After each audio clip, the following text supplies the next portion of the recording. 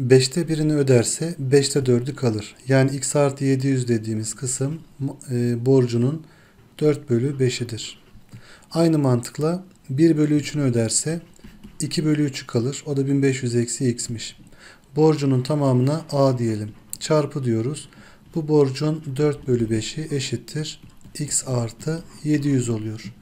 Aynı şekilde a çarpı 2 bölü 3 dersek kalan borç toplamın burada 3 bölü x'i 1500 eksi x var.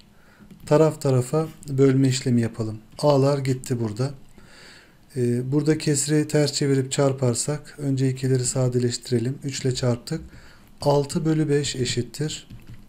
x artı 700 bölü 1500 eksi x olacaktır.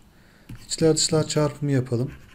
5x artı 5 kere 7 35 3500 yaptı. Burası da 6 çarpı 15 90 9000 eksi 6x oldu. Sol tarafa attık. Burası 11x. Diğer tarafa atalım.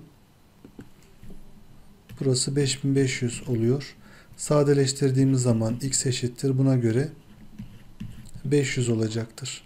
x 500 olduğunda yerine yazar. A'yı buradan bulursak A değeri yani toplam borç 1500 olarak bulunur. Doğru cevap B seçeneğidir.